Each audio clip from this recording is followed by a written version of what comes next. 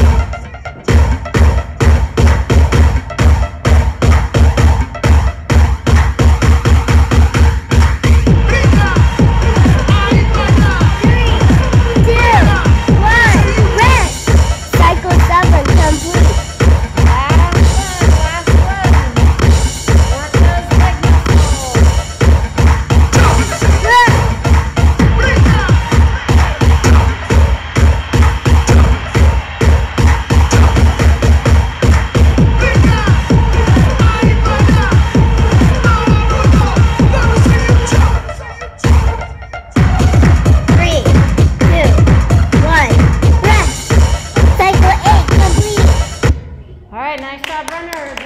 Ah. Hey, good luck with your digger dash today. Get out and run hard.